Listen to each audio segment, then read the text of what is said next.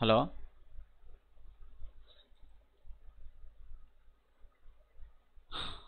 കേൾക്കാൻ പറ്റുന്നുണ്ടപ്പോ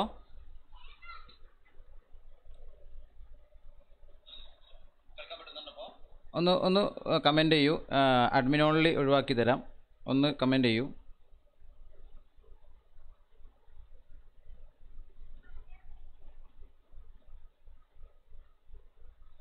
okay hello അപ്പോൾ ഓക്കെ ആണോ?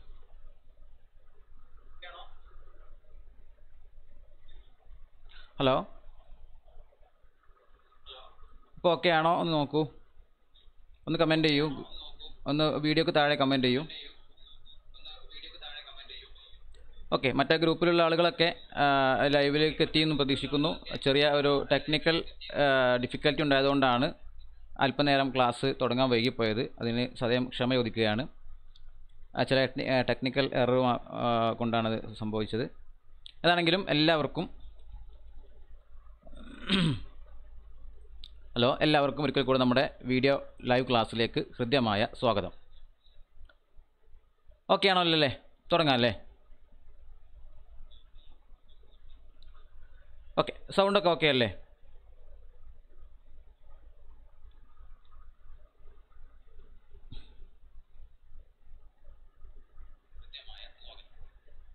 ഓക്കെ ഇപ്പോൾ ലൈവിൽ സൗണ്ടൊക്കെ ഓക്കെ ആണെന്ന് പ്രതീക്ഷിക്കുന്നു. Hello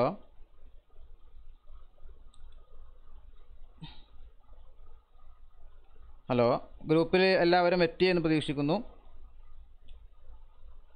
okay.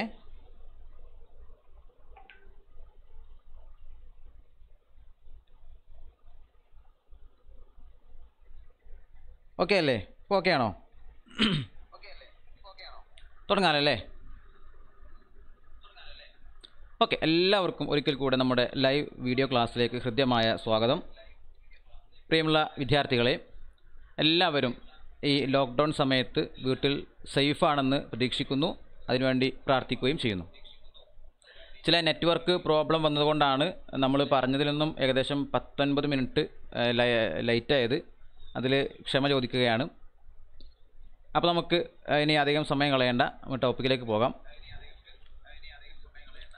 നമ്മൾ ഇന്ന് ഡിസ്കസ് ചെയ്യുന്നത് ഫിസിക്സിലെ രണ്ടാമത്തെ ചാപ്റ്ററായ രണ്ടാമത്തെ ചാപ്റ്ററാണ് magnetic effect of electric current എന്ന് പറയുന്ന രണ്ടാമത്തെ ചാപ്റ്ററാണ് നമ്മൾ ഇന്ന് ഡിസ്കസ് ചെയ്യുന്നത് അപ്പോൾ ആദ്യമായി ഒന്ന് രണ്ട് കാര്യങ്ങൾ പറയാം. അതായത് പ്രിയപ്പെട്ടവരെ നമ്മുടെ ലോക്ക്ഡൗൺ കഴിഞ്ഞ് ഏകദേശം മെയ് രണ്ടാമത്തെ ആഴ്ചയ്ക്ക് ശേഷമൊക്കെ ആയിട്ട് എസ് എൽ സി പരീക്ഷ ഉണ്ടാകുമെന്നുള്ളതാണ് നമ്മൾ പ്രതീക്ഷിക്കുന്നത്. അപ്പോൾ എന്നിരുന്നാലും നമ്മൾ കുറേ ദിവസങ്ങൾ പലപ്പോഴും പല രീതിയിലൊക്കെ ചിലവഴിച്ചിട്ടുണ്ടാകും. ഇനി ഇവിടുന്ന് അങ്ങോട്ടുള്ള ദിവസങ്ങൾ ഫലപ്രദമായി വിനിയോഗിക്കണം. അപ്പോൾ ഇന്ന് നമ്മൾ ഫിസിക്സ് അല്ലെങ്കിൽ പത്താം ക്ലാസ്സിലെ എസ് എൽ സി വിദ്യാർത്ഥികൾക്കുള്ള ക്ലാസ്സാണ് കൊടുക്കുന്നത്. ഈ ചാനലിൽ നമ്മൾ ഇന്ന് ഫിസിക്സ് അത് ചാപ്റ്റർ വൈസിലാണ് വരുന്നത്. അടുത്ത ദിവസങ്ങളിൽ നമ്മൾ കെമിസ്ട്രി കൊടുക്കുന്നുണ്ട്. അതുപോലെ പ്ലസ് വണ്ണിലെ ക്ലാസ്സുകളും കൊടുക്കുന്നുണ്ട്. അപ്പോൾ അതുകൊണ്ട് ഈ ലൈവ് കാണുന്ന അല്ലെങ്കിൽ നീക്ഷി വീക്ഷിക്കുന്ന പ്രിയപ്പെട്ട വിദ്യാർത്ഥികൾ നിങ്ങളുമായി ബന്ധപ്പെട്ട മറ്റു സുഹൃത്തുക്കളിലേക്കും ഈ വിവരം അറിയിക്കുക. അവർക്കും കൂടെ അത് ഉപകരിക്കാൻ സാധിക്കട്ടെ. അപ്പോൾ ഇപ്പോൾ ഒക്കെ ഓക്കെയാണെന്ന് പ്രതീക്ഷിക്കുന്നു. ഷിബില ഷിബില ഒന്നും വരുന്നില്ലല്ലോ. അപ്പോൾ ഓക്കെ ആണോ നമ്മൾ തുടങ്ങട്ടെ ക്ലാസ് തുടങ്ങട്ടെ നിങ്ങളൊന്ന് പറയൂ. ഫസ്റ്റ് അറ്റംപ്റ്റ് ആയതുകൊണ്ട് എന്തെങ്കിലും ബുദ്ധിമുട്ട് നിങ്ങൾക്കുണ്ടോ എന്നറിയില്ല എല്ലാവരും ഓക്കെ ആണെങ്കിൽ നമുക്ക് തുടങ്ങാം. ഒന്ന് പറയൂ.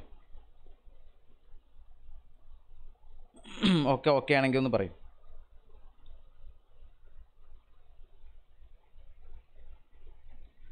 ഓക്കെ ആണോ? നിങ്ങൾ ഓക്കെ ആണെന്ന് അറിഞ്ഞിച്ചെങ്കിൽ നമുക്ക് കൃത്യമായി ചെയ്യാൻ പറ്റുള്ളൂ. ഓക്കെ അല്ലേ?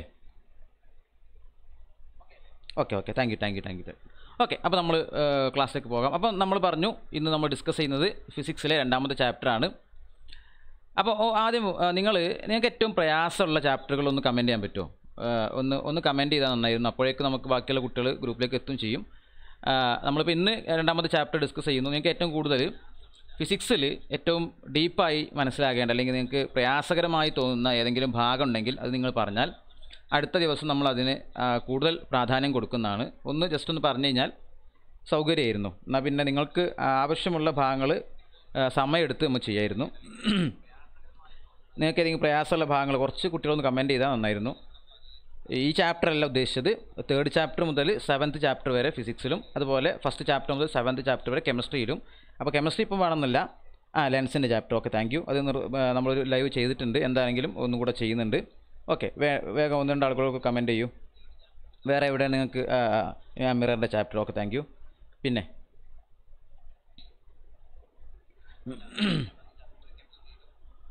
ഓക്കെ അപ്പോൾ കെമിസ്ട്രി ഇപ്പം ചെയ്തോളൊന്നുമില്ല നമ്മൾ ഫിസിക്സ് അറിയിച്ചാൽ നമുക്ക് നാളെ മുതൽ ഒക്കെ തേർഡ് ചാപ്റ്റർ ഒക്കെ നാളെ എന്തായാലും തേർഡ് ചാപ്റ്റർ നമ്മൾ ചെയ്യുന്നുണ്ട്. ഓക്കെ. Okay okay okay. അപ്പോൾ നമുക്ക് ക്ലാസ് തുടങ്ങാം. അപ്പോൾ കുട്ടികളെ ഒരു കാര്യം ശ്രദ്ധിക്കാം. വളരെ ഈസി ആയിട്ടുള്ള പാഠപുസ്തകമാണ് നമ്മുടെ പത്താം ക്ലാസ്സിലേത്. ഒരു കണക്കിന് കഴിഞ്ഞ വർഷം അല്ലെങ്കിൽ കഴിഞ്ഞ വർഷം വരെ കുറേ കുട്ടികൾ ഒൻപതാം ക്ലാസ്സിൽ പഠിച്ചതും ഇനി പത്താം ക്ലാസ്സിലേക്ക് വരുന്നതിന് മുമ്പ് നിങ്ങൾ ഒമ്പതിൽ പഠിച്ചതുമായിട്ടുള്ള ചാപ്റ്ററാണ് effect of magnetic effect of electric current എന്ന് പറയുന്ന ഈ രണ്ടാമത്തെ ചാപ്റ്റർ. മാത്രമല്ല ഒൻപതാം ക്ലാസ്സിലെ ആ ചാപ്റ്റർ അതേപടി പറിച്ചു നടുകയാണ് പത്താം ക്ലാസ്സിലേക്ക് ചെയ്തത്. അപ്പോൾ അതുകൊണ്ട് തന്നെ നിങ്ങൾക്ക് പഠിച്ചതിന്റെ മേലെ ഒന്നുകൂടെ പഠിക്കുന്ന ഒരു ഒരു റിവിഷൻ പോലെയാണ് ശരിക്കും പത്താം ക്ലാസ്സിലേക്ക് തോന്നിക്കേണ്ടത്. മാത്രമല്ല ഈ വർഷം വേറെ സന്തോഷമുണ്ട്. എല്ലാ വർഷവും എട്ട് ചാപ്റ്ററാണ് ഫിസിക്സിൽ ഉണ്ടാവാറ്. ഈ വർഷം ഏഴ് ചാപ്റ്ററാണ് അപ്പോൾ ഫിസിക്സ് എന്ന് പറയുന്ന വിഷയം നിങ്ങൾ മനസ്സിലാക്കി പഠിക്കുകയാണെങ്കിൽ വളരെ സിമ്പിളാണ് വളരെ ഇൻട്രസ്റ്റിംഗ് ആണ്. പത്താം ക്ലാസ് വരെ എന്താണെങ്കിലും പത്താം ക്ലാസ് വരെ ഫിസിക്സിൽ ഷുവറായിട്ടും എ പ്ലസ് വാങ്ങാൻ സാധിക്കും. അപ്പോൾ നമ്മൾ ടോപ്പിക്കിലേക്ക് പോവുകയാണ് നോക്കിക്കോളൂ. അപ്പോൾ effect magnetic effect of electric current അതാണ് നമ്മുടെ ഇന്നത്തെ ഡിസ്കഷൻ അതായത് വൈദ്യുത പ്രവാഹത്തിന്റെ കാന്തിക ഫലം. അപ്പോൾ നോക്കൂ ഒന്നാമത് ചാപ്റ്റർ എന്തായിരുന്നു?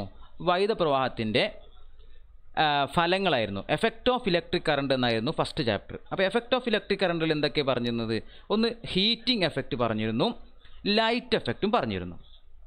ഇനി അങ്ങനെ ഹീറ്റിംഗ് എഫക്റ്റും ലൈറ്റ് എഫക്റ്റും നിങ്ങൾ പഠിച്ചിട്ടുണ്ടാവാം. രണ്ടാമത്തേൽ പറയുന്നത് അതിന്റെ മറ്റൊരു എഫക്റ്റാണ് മാഗ്നറ്റിക് എഫക്റ്റ് അല്ലെങ്കിൽ കാന്തിക ഫലം. അപ്പോൾ നോക്കൂ എന്താണ് ഫലം എന്ന് പറഞ്ഞാൽ? ഇപ്പോൾ നോക്കൂ നിങ്ങൾ നമ്മൾ ഇപ്പോൾ നമ്മളിവിടെ ലൈവ് ക്ലാസ്സിൽ ഇരിക്കുന്നു. അതേപോലെ പിന്നെ നിങ്ങൾ ട്യൂഷനും മറ്റൊക്കെ പോയി ഒരു വർഷം സ്കൂളിൽ പഠിച്ചു. അങ്ങനെ വളരെ സന്തോഷത്തോടു കൂടെ പ്രതീക്ഷയോടെ എസ് എൽ സി പരീക്ഷ എഴുതി. അങ്ങനെ ഭാഗ്യമുണ്ടെങ്കിൽ ബാക്കി പരീക്ഷയും കൂടെ എഴുതിയിട്ട് മെയ് അവസാനത്തിലോ അല്ലെങ്കിൽ ജൂൺ ആദ്യ വാരത്തിലൊക്കെ ആയിട്ട് റിസൾട്ട് വരും അല്ലേ? റിസൾട്ട് വരും. ഇപ്പോൾ എന്താ റിസൾട്ട്? ഫലം. അതൊരു ഫലമാണ്. ഫലം പ്രസിദ്ധീകരിച്ചു എന്നാണ് പറയാം.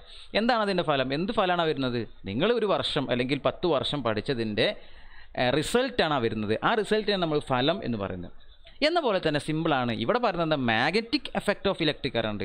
അതായത് കറണ്ട് കടന്നു പോകുന്നതിന് ഫലമായി ഉണ്ടാകുന്ന കാന്തിക ഫലമാണ് പറയുന്നത്. അപ്പോൾ ഒരു ഒരു വസ്തുവിൽ കൂടെ ഒരു ചാലകത്തിൽ കൂടെ ഒരു കണ്ടക്ടറിൽ കൂടെ കറണ്ട് പാസ് ചെയ്ത് കഴിഞ്ഞാൽ അവിടെ ഹീറ്റ് പ്രൊഡ്യൂസ് ചെയ്യുന്നു ഹീറ്റിംഗ് എഫക്റ്റ് ലൈറ്റ് പ്രൊഡ്യൂസ് ചെയ്യുന്നു ലൈറ്റിംഗ് എഫക്റ്റ് അതേപോലത്തെ ഒരു എഫക്റ്റാണ് മാഗ്നറ്റിക് എഫക്റ്റ് സിമ്പിളായിട്ട് അപ്പോൾ നോക്കൂ ഫസ്റ്റ് പോയിന്റാണ് മാഗ്നറ്റിക് ഫീൽഡ് മാഗ്നറ്റിക് ഫീൽഡ് അപ്പോൾ നോക്കൂ എന്താണ് മാഗ്നറ്റിക് ഫീൽഡ് എന്ന് പറയുന്നത്?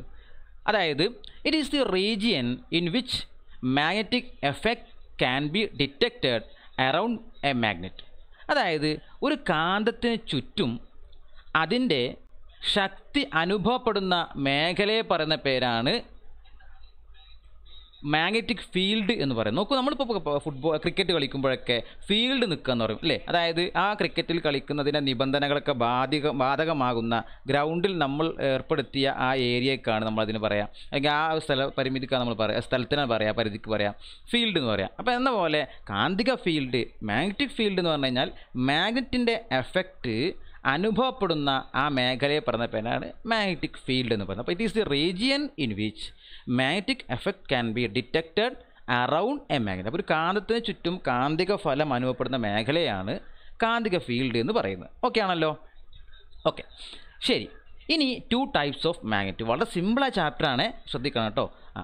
ടു ടൈപ്സ് ഓഫ് മാഗ്നറ്റ് അതായത് രണ്ട് തരത്തിലുള്ള കാന്തങ്ങളുണ്ട്. നമുക്കറിയാം. ഒന്ന് ഇലക്ട്രോ മാഗ്നറ്റ് രണ്ടാമത്തത് ബാർ മാഗ്നറ്റ്. അപ്പോൾ രണ്ട് തരത്തിലുള്ള മാഗ്നറ്റാണ് ഉള്ളത്. ഒന്ന് മാഗ്നറ്റിക് എഫക്റ്റ് സോറി രണ്ടാ രണ്ട് ഒന്ന് ഇലക്ട്രോ മാഗ്നറ്റ് രണ്ടാമത്തെ ബാർ മാഗ്നറ്റ്. അപ്പോൾ രണ്ട് തരത്തിലുള്ള കാന്തം പറഞ്ഞു. ഒന്ന് ഇലക്ട്രോ മാഗ്നറ്റും രണ്ടാമത്തെ ബാർ മാഗ്നറ്റും. അപ്പോൾ നോക്കൂ ഇലക്ട്രോ മാഗ്നറ്റ് എന്ന് പറഞ്ഞാൽ എന്താ? നമ്മൾ ഇലക്ട്രിസിറ്റി കടത്തി വിടുന്നതിന്റെ ഫലമായി ഉണ്ടാകുന്ന കാന്തമാണ് ഇലക്ട്രോ മാഗ്നറ്റ്. അതൊരു ടെമ്പററി മാഗ്നറ്റാണ്. വൈദ്യുതകാന്തം ബാർ മാഗ്നറ്റ് എന്ന് പറഞ്ഞാൽ അതൊരു പെർമനന്റ് മാഗ്നറ്റാണ് സ്ഥിരകാന്തമാണ്. അപ്പോൾ രണ്ട് തരത്തിലുള്ള കാന്തമാണുള്ളത്. ഒന്ന് താൽക്കാലിക കാന്തമായ ടെമ്പററി മാഗ്നറ്റ് അതാണെന്ത് ഇലക്ട്രോ മാഗ്നറ്റ്. രണ്ടാമത്തത് പെർമനന്റ് മാഗ്നറ്റ് അതാണ് ഇത് ബാർ മാഗ്നറ്റ് അതായത് സ്ഥിരകാന്തം. ഓക്കെ. ഇനി നോക്കൂ അടുത്ത് നമ്മൾ മനസ്സിലാക്കേണ്ട ഒരു കാര്യമാണ്. Magnetic lines magnetic field lines അതായത് കാന്തിക ബലരേഖകൾ എന്ന് പറഞ്ഞാൽ എന്താണ്? അതായത് എന്താ magnetic field lines of a bar magnet and that of electromagnet are similar അതായത് പിന്നെ നമുക്കറിയാം ഒരു കാന്തത്തിന് ചുറ്റും അതിന്റെ ശക്തി അനുഭവപ്പെടുന്ന മേഖലയാണ് നമ്മൾ കാന്തിക മണ്ഡലം എന്ന് പറയാം. അത് നമ്മൾ പഠിച്ചു. എങ്കിൽ ആ കാന്തിക മണ്ഡലത്തിൽ കൂടെ നമ്മൾ വരക്കുന്ന സാങ്കല്പിക രേഖയാണ് എന്ത് പറയുക മാഗ്നറ്റിക് ഫീൽഡ് എന്ന് പറയാം. സോറി മാഗ്നറ്റിക് ഫീൽഡ് ലൈൻസ് എന്ന് പറയാം. അപ്പോൾ മാഗ്നറ്റിക് ഫീൽഡിൽ കൂടി വരക്കുന്ന രേഖകളെയാണ് അല്ലെങ്കിൽ ആ ലൈൻസിനെയാണ്. അതായത് മാഗ്നറ്റിക് ലൈൻസ് നമുക്കറിയാം പിന്നെ കാന്തിക വരകൾ അനുപ്പെടുന്ന മേഖല ആ മേഖലയിൽ കൂടെ വരക്കുന്ന വരകളാണ് അല്ലെങ്കിൽ അത് ആ സാങ്കല്പിക ലൈൻസാണ് മാഗ്നറ്റിക് ലൈൻസ് എന്ന് പറയുന്നത്. അതെന്താണ് പറഞ്ഞത്? ഇലക്ട്രോ മാഗ്നറ്റിലും അതുപോലെ ബാർ മാഗ്നറ്റും സെയിം ആണ്. രണ്ടിലും ഒരുപോലെയാണ്. അപ്പോൾ നോക്കൂ ഏതെങ്കിലും ഒന്ന് പഠിച്ചു കഴിഞ്ഞാൽ അത് മറ്റതിനും ബാധകമാണ്. എന്തൊക്കെയാണ് പറഞ്ഞു നോക്കിക്കോളൂ. പിന്നെ നോക്കിക്കോളൂ വേറൊരു കാര്യം കൂടെ ശ്രദ്ധിക്കാം. Due to the flow of electric current through a conductor magnet field produce around the conductor നോക്കൂ ഒരു ചാലകത്തിൽ കൂടെ വൈദ്യുതി കടന്നു പോയി കഴിഞ്ഞാൽ അതിന് ചുറ്റും എന്തുണ്ടാകും? കാന്തിക മണ്ഡലം ഉണ്ടാകും. അത് പറഞ്ഞ ആൾ ക്രിസ്ത്യൻ ഈസ്റ്റഡ് ആണ് എന്ന് കൂടെ ഓർത്ത് വെക്കാം. അത് നമ്മൾ കൂടുതൽ അടുത്ത ടോപ്പ് സ്ലൈഡിൽ പറയുന്നുണ്ട്. അപ്പോൾ നിങ്ങൾ ഇത്ര ഓർത്ത് വെക്കുക. മാഗ്നറ്റ് ഫീൽഡ് എന്താ പഠിച്ചു? രണ്ട് തരത്തിലുള്ള മാഗ്നറ്റ് ഉണ്ട് എന്ന് പഠിച്ചു. പിന്നെ രണ്ടിന്റെയും പ്രത്യേകതയായ ഇലക്ട്രോ മാഗ്നറ്റിക് ലൈൻസ് എന്ന് പറയുന്നത് എല്ലാ രണ്ടിനും സിമിലർ ആണ് എന്ന് പറഞ്ഞു. ഇനി നോക്കിക്കോളൂ. നോക്കൂ മാഗ്നറ്റിക് ഫീൽഡ് ലൈൻസ് അപ്പോൾ നോക്കൂ it is the path along which magnetic lines are moving from north to south അപ്പോൾ നോക്കൂ ഒരു ഒരു കാന്തം നമ്മൾ വരച്ച് കഴിഞ്ഞാൽ ഒരു കാന്തത്തെ അതായത് ഇലക്ട്രോ മാഗ്നറ്റ് ആയിക്കോട്ടെ അല്ലെങ്കിൽ പിന്നെ ബാർ മാഗ്നറ്റ് ആയിക്കോട്ടെ ഏതാണെങ്കിലും അതിനുണ്ടാകുന്ന ഒരു പ്രത്യേകതയാണ് എന്ത് നമ്മൾ പഠിച്ചു? പിന്നെ മാഗ്നറ്റിക് ലൈൻസ് എന്ന് പറയുന്നത് അല്ലേ? അപ്പോൾ മാഗ്നറ്റിക് ലൈൻസ് നമ്മളിപ്പോൾ ഒരു പിന്നെ കാന്തം വരച്ച് കഴിഞ്ഞാൽ ആ കാന്തത്തിന് ചുറ്റും അതിന്റെ ശക്തി അനുഭവപ്പെടുന്ന മേഖലയാണ് കാന്തിക മണ്ഡലം എന്ന് പറഞ്ഞു. അപ്പോൾ നോക്കൂ അത് രണ്ട് ഭാഗങ്ങളുണ്ട്. ഒരു ഭാഗം നോർത്താണ് മറ്റേ ഭാഗം സൗത്താണ്. അപ്പോൾ നമുക്കറിയാം നോർത്തിൽ നിന്നും സൗത്തിലേക്കാണ് കാന്തിക ബലരേഖകൾ സഞ്ചരിക്കാറ്. നോർത്തിൽ നിന്നും സൗത്തിലേക്കാണ് കാന്തിക ബലരേഖകൾ സഞ്ചരിക്കാറ് എന്ന് നമ്മൾ പഠിച്ചിട്ടുണ്ട്. എങ്കിൽ നോർത്തിൽ നിന്നും സൗത്തിലേക്ക് കാന്തിക ബലരേഖകൾ സഞ്ചരിക്കുമ്പോൾ ഉണ്ടാകുന്ന ആ പാത്തിനെയാണ് നമുക്ക് എന്താ പറയുക മാഗ്നറ്റിക് ഫീൽഡ് ലൈൻസ് എന്ന് പറയുക എന്ന് പറഞ്ഞു. അപ്പോൾ അങ്ങനെ പഠിച്ചാലും കുഴപ്പമില്ല. അപ്പോൾ മാഗ്നറ്റിക് ഫീൽഡ് ലൈൻസ് എന്ന് പറഞ്ഞു കഴിഞ്ഞാൽ എന്താണെന്ന് പറഞ്ഞു? ആ പാത്തിനെയാണ്. പിന്നെ രണ്ടാമത്തെ കാര്യം മാഗ്നറ്റിക് ലൈൻസിന്റെ പ്രത്യേകതയാണ് it will not intersect with each other അത് ഒരിക്കലും പരസ്പരം കൂട്ടിമുട്ടില്ല. അതായത് കാന്തിക ബലരേഖകൾ ഒരിക്കലും പരസ്പരം കൂട്ടിമുട്ടുകയില്ല. അത് വളരെ പ്രധാനപ്പെട്ട ഒരു പോയിന്റാണ് ഓക്കെ അപ്പോൾ കാന്തിക ബലരേഖകൾ ഒരിക്കലും കൂട്ടിമുട്ടില്ല അപ്പോൾ നോക്കുമ്പോൾ നമ്മൾ ഇവിടുന്ന് ഈ നോർത്തിൽ നിന്നും സൗത്തിലേക്ക് ഇങ്ങനെ വരച്ചാൽ നോർത്തിൽ നിന്ന് സൗത്തിലേക്ക് വരച്ച് കഴിഞ്ഞാൽ ഈ വരകളുള്ള ഈ ഭാഗ ഇതൊക്കെ എന്താണ്? ഇത് കാന്തിക മണ്ഡലത്തിൽ കൂടെ പോകുന്നത്. അപ്പോൾ ഇതൊക്കെയാണ് കാന്തിക ബലരേഖകൾ എന്ന് പറഞ്ഞു. പിന്നെ എന്ത് പറഞ്ഞു? ഈ ബലരേഖകൾ ഒരിക്കലും എന്ത് ചെയ്യില്ല പിന്നെ കൂട്ടിമുട്ടൂല. അതായത് ഇങ്ങനെ പോകൂല. ഇങ്ങനെ പോകാൻ പറ്റൂല. കാന്തിക ബലരേഖകൾ ഒരിക്കലും കൂട്ടിമുട്ടൂല. പിന്നെ പറഞ്ഞു it is it will maximum at poles കാന്തിക ബലരേഖകൾ ഏറ്റവും കൂടുതൽ ഉണ്ടാവൽ എവിടെയാണ്? അതിന്റെ പോളിലാണ്. കാന്തിക ബലരേഖകൾ ഏറ്റവും കൂടുതൽ ഉണ്ടാവൽ അതിന്റെ പോളിലാണ്. ഓക്കെ. ഇനി നോക്കിക്കോളൂ. അടുത്ത ഭാഗം നോക്കിക്കോളൂ. വളരെ സിമ്പിളായ കാര്യങ്ങളാണ് അതൊക്കെ അടുത്ത് നോക്കിക്കോളൂ. ഇനി ഇവിടെ രണ്ട് ചിത്രം കൊടുത്തിട്ടുണ്ട് അല്ലേ ടെക്സ്റ്റ് ബുക്കിലുള്ള ഒരു ചിത്രമാണ്. ക്രിസ്ത്യൻ ഹിസ്റ്ററി എന്ന് പറയുന്ന ശാസ്ത്രജ്ഞൻ നടത്തിയ പരീക്ഷണത്തിന്റെ ഒരു ചിത്രമാണ്. നോക്കൂ ഇവിടെ എന്താ കൊടുത്തിട്ടുള്ളത്? ഇവിടെ നമുക്കറിയാം ഇവിടെ ഒരു കണ്ടക്ടർ കൊടുത്തിട്ടുണ്ട്. നോക്കൂ ഇവിടെ ഒരു കണ്ടക്ടർ കൊടുത്തിട്ടുണ്ട് അല്ലേ എ ബി എന്ന് പറയുന്ന കണ്ടക്ടർ ആ കണ്ടക്ടറുമായി ഒരു ബാറ്ററിയെ കണക്ട് ചെയ്ത് ആ കണ്ടക്ടർ കൂടെ എന്ത് കടത്തിവിടുന്നുണ്ട്? വൈദ്യുതി കടത്തിവിടുന്നുണ്ട്. അപ്പോൾ വൈദ്യുതി ഇവിടെ എയിൽ നിന്ന് ബിയിലേക്ക് കടത്തിവിടുന്നു. രണ്ടാമത്തെ ഫിഗറിൽ ബിയിൽ നിന്നും എയിലേക്ക് കടത്തിവിടുന്നു. ഇവിടെ നമ്മൾ നോക്കുമ്പോൾ അതിന് താഴെ വെച്ചിരിക്കുന്നത് ഒരു മാഗ്നറ്റിക് നീഡിലാണ് അല്ലേ? ഒരു കോമ്പസിലെ നീഡിലാണ് അപ്പോൾ ആ നീഡിൽ കാന്ത് വൈദ്യുത പ്രവാഹത്തിന്റെ ദിശക്കനുസരിച്ച് അല്ലെ? എയിൽ നിന്ന് ബിയിലേക്ക് വൈദ്യുതി പോയപ്പോൾ ഈ നോർത്ത് പോളാണ് അങ്ങോട്ട് അട്രാക്ട് ചെയ്തത്. അല്ലേ? പകരം ബിയിൽ നിന്നും എയിലേക്ക് പോയപ്പോൾ നോക്കൂ നോർത്ത് പോളല്ല സൗത്ത് പോളാണ് ഈ കണ്ടക്ടറിലേക്ക് അട്രാക്ട് ചെയ്തത്. ഇവിടുന്ന് നമുക്ക് എന്ത് മനസ്സിലാക്കാം? അതായത് നമുക്കറിയാം മാഗ്നറ്റിക് നീഡിൽ എന്തെങ്കിലും ഡിഫ്ലക്ഷൻ കാണിക്കണമെങ്കിൽ അവിടെ എന്തുണ്ടാകണം? ഒരു മാഗ്നറ്റിക് ഫീൽഡ് ഉണ്ടാകണം. അപ്പോൾ ആ ചാലകത്തിൽ കൂടെ കണ്ടക്ടറിൽ കൂടെ വൈദ്യുതി കടന്നു പോയപ്പോൾ അവിടെ എന്തുണ്ടായിട്ടുണ്ട്? ഒരു കാന്തിക മണ്ഡലം ഉണ്ടായിട്ടുണ്ട് അപ്പോൾ നേരത്തെ പറഞ്ഞു a current is passing through a conductor definitely a magnetic field will be produce around that അപ്പോൾ ഒരു കാന്തിക മണ്ഡലം ഉണ്ടായിട്ടുണ്ട് എന്ന് നമുക്ക് ഇവിടുത്തെ എക്സ്പെരിമെന്റിൽ കൂടെ മനസ്സിലായി. കാരണം എന്താ? അതുകൊണ്ടാണല്ലോ കാന്തിക ബലരേഖകളെ അല്ലെങ്കിൽ കാന്തിക ശക്തിയെ നമ്മൾ ഡിറ്റക്ട് ചെയ്യാൻ വേണ്ടി ഉപയോഗിക്കുന്ന നീഡിൽ ഒരു ഡിഫ്ലക്ഷൻ കാണിച്ചത്. ആ ഡിഫ്ലക്ഷൻ നോക്കൂ. ഒന്നാമത്തെ ഡിഫ്ലക്ഷൻ കാണിച്ചത് നോക്കൂ എയിൽ നിന്ന് ബിയിലേക്കായപ്പോൾ ഇങ്ങോട്ടാണ് ഫ്ലോ ഇങ്ങോട്ട് ഫ്ലോ ഉണ്ടായപ്പോൾ ഈ ഭാഗമാണ് അട്രാക്ട് ചെയ്തത്. അല്ലേ ബിയിൽ നിന്ന് എയിലേക്ക് പോയപ്പോൾ ഈ ഭാഗമാണ് അട്രാക്ട് അപ്പോൾ നോക്കൂ ഏത് ഭാഗം? എയിൽ നിന്ന് ബിയിലേക്കായപ്പോൾ ഈ ഭാഗത്തെ നീഡിലാണ് അല്ലെങ്കിൽ നീഡിന്റെ ഈ ഭാഗമാണ് അട്രാക്ട് ചെയ്തത്. അപ്പോൾ നീഡിൽ അട്രാക്റ്റ് ചെയ്യുകയോ റിപ്പൽ ചെയ്യുകയോ ചെയ്ത് കഴിഞ്ഞാൽ അവിടെ കാന്തിക ശക്തി ഉണ്ടായി എന്നറിയാം. അതോടൊപ്പം തന്നെ രണ്ട് സ്ഥാനങ്ങളും രണ്ട് ചിത്രങ്ങളിലും ഒന്നിൽ എയിൽ നിന്ന് ബിയിലേക്ക് പോയി മറ്റൊന്ന് ബിയിൽ നിന്ന് എയിലേക്ക് പോയി എന്ന് പറഞ്ഞാൽ അതിന്റെ കറണ്ടിന്റെ ഡയറക്ഷൻ മാറ്റി എന്നർത്ഥം ഡയറക്ഷൻ മാറുന്നതനുസരിച്ച് എന്ത് മാറുന്നുണ്ട്? ആ നീഡിലിന്റെ ഡിഫ്ലക്ഷന്റെ ഡിഫ്ലക്ഷൻ മാറുന്നുണ്ട്. അപ്പോൾ ഡിഫ്ലക്ഷൻ നോക്കൂ ഇവിടെ ഡിഫ്ലക്റ്റ് ചെയ്തത് ഇങ്ങനെയായിരുന്നു ഇല്ലേ? ഇങ്ങോട്ട്. അപ്പോൾ ഇങ്ങനെ ഡിഫ്ലക്റ്റ് ചെയ്താൽ നമുക്ക് പറയാം എന്താ? അത് ആന്റി ക്ലോക്ക് വൈസ് എന്ന് പറയാം. പക്ഷേ ഇവിടെ ഡിഫ്ലക്റ്റ് ചെയ്ത് നോക്കൂ ഇങ്ങനെ. അല്ലേ അതായത് ക്ലോക്ക് വൈസാണ് അപ്പോൾ ഒരു ഭാഗത്ത് വെച്ചപ്പോൾ ഒരു രീതിയിൽ അതായത് കാന്ത വൈദ്യുതിയുടെ പ്രവാഹത്തിന്റെ ദിശ മാറിയപ്പോൾ ഡയറക്ഷൻ മാറിയപ്പോൾ ഡിഫ്ലക്ഷൻ മാറി. ഒരു സമയത്ത് ആന്റി ക്ലോക്ക് വൈസ് ആയിരുന്നത് മറ്റു സമയത്ത് ക്ലോക്ക് വൈസ് ആയി. അപ്പോൾ ഇതിൽ നിന്ന് കാര്യം മനസ്സിലാക്കും എന്താണ്? When a current is passing through a conductor definitely a magnetic field will be produce around a conductor and the its direction will be in the direction of current അപ്പോൾ കാന്തിക ശക്തി ഉണ്ടാകുക മാത്രമല്ല അതിന്റെ ദിശ എന്തിനെ ആശ്രയിച്ചിരിക്കുന്നു? അതിൽ കൂടെ ഒഴുകുന്ന വൈദ്യുതിയുടെ ഡയറക്ഷനും കൂടെ ബാധിക്കുന്നു എന്ന് നമുക്ക് മനസ്സിലാക്കാൻ പറ്റി. അപ്പോൾ നോക്കൂ the experiment done by famous scientist Christian Oersted states that എന്താ അദ്ദേഹം പറഞ്ഞത്? A current carrying conductor produce a magnetic field around it ഒരു കറണ്ട് ക്യാരി ചെയ്യുന്ന ഒരു കണ്ടക്ടറിന് ചുറ്റും കാന്തിക മണ്ഡലം ഉണ്ടാകുന്നു മാത്രമല്ല its direction will be in the direction of current മാത്രമല്ല അത് ഡയറക്ഷൻ എന്തിനെ അടിസ്ഥാനപ്പെടുത്തിയിട്ടാണ് കറണ്ടിന്റെ ഡയറക്ഷനെ ഡിപ്പെൻഡ് ചെയ്തുകൊണ്ടാണ്. അപ്പോൾ നമുക്കിങ്ങനെ പറയാം. When a current is passing through അല്ലെങ്കിൽ when a current is passing through a conductor ഈ electromagnet field will be produce around the conductor and its direction will be in the direction of current അപ്പോൾ കറണ്ടിന്റെ current pass ചെയ്യുമ്പോൾ അവിടെ magnetic field ഉണ്ടാകുകയും ചെയ്യുന്നു. മാത്രമല്ല അത് കറണ്ടിന്റെ ഡയറക്ഷനെ ബാധിക്കുകയും ചെയ്യുന്നു അല്ലെങ്കിൽ ഡയറക്ഷനെ ഡിപ്പെൻഡ് ചെയ്യുകയും ചെയ്യുന്നു എന്നുള്ളതാണ് നമ്മൾ ഈ എക്സ്പെരിമെന്റിൽ കൂടെ മനസ്സിലാക്കേണ്ടത്. ഓക്കെ ആണല്ലോ? ഓക്കെ നമുക്ക് അടുത്ത ഭാഗത്തേക്ക് പോകാം. ഈ നോക്കൂ മറ്റൊന്ന്. ഇവിടെ നോക്കൂ നമ്മൾ ഒരു ചിത്രം കൊടുത്തിട്ടുണ്ട്. ഒരു കാർഡ്ബോർഡിനുള്ളിൽ കൂടെ ഒരു കണ്ടക്ട് കടത്തി വെച്ചു അല്ലേ? ആ കണ്ടക്ടറിനെ ഒരു സർക്യൂട്ടാക്കി മാറ്റിയിട്ട് ഒരു കണ്ടക്ടർ ആ കണ്ടക്ടറുമായി ബാറ്ററി കണക്ട് ചെയ്തു. പിന്നെ അതുപോലെ റിയോസ്റ്റാറ്റ് നമുക്കറിയാം റിയോസ്റ്റാറ്റ് എന്താണെന്നുള്ളത് അല്ലേ? ഇവിടെ റിയോസ്റ്റാറ്റ് അത് കറണ്ടിന്റെ അളവ് നിയന്ത്രിക്കാൻ വേണ്ടിയിട്ടുള്ളതാണ്. അല്ലെ റെസിസ്റ്റൻസ് കൂട്ടാനും കുറക്കാനും വേണ്ടിയിട്ടുള്ളതാണ്. പിന്നെ അതുപോലെ സ്വിച്ച് കൊടുത്ത്. അങ്ങനെ സ്വിച്ച് ഓൺ ചെയ്ത് കഴിഞ്ഞാൽ എന്ത് ചെയ്യും? ഇവിടെ നിന്ന് കറണ്ട് ഇങ്ങനെ പാസ് ചെയ്യും. അപ്പോൾ ഇവിടെ ഇത് എ ആണെങ്കിൽ ഇത് എ ഇത് ബി ഇത് എ ഇത് ബി ആണെങ്കിൽ എയിൽ നിന്നും ബിയിലേക്ക് കറണ്ട് പാസ് ചെയ്യുമ്പോൾ അതിനു ചുറ്റും കുറേ എക്സ്പെരിമെന്റിന്റെ ഫലമായിട്ട് മനസ്സിലായത് അതിനു ചുറ്റും കാന്തിക മണ്ഡലം ഉണ്ടാകുന്നുണ്ട്. അതുപോലെ ബിയിൽ നിന്ന് ബി എന്ന ഭാഗത്ത് നിന്ന് എയിലേക്കാണ് ഉണ്ടാകുന്നതെങ്കിൽ ഈ ഭാഗത്തും എന്തുണ്ടാകുന്നുണ്ട്? അവിടെ മാഗ്നറ്റിക് ഫീൽഡ് ഉണ്ടാകുന്നുണ്ട്. പക്ഷേ അതിന് ചുറ്റുണ്ടാകുന്ന മാഗ്നറ്റിക് അല്ലെങ്കിൽ ഈ കണ്ടക്ടറിന് ചുറ്റുണ്ടാകുന്ന മാഗ്നറ്റിക് ഫീൽഡിന്റെ ഡയറക്ഷൻ വ്യത്യാസമുണ്ട്.